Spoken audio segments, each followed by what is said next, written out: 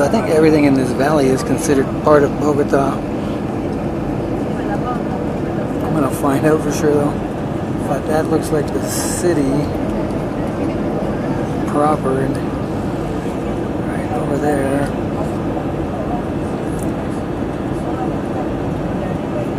Yeah, that's finally a high concentration of buildings, so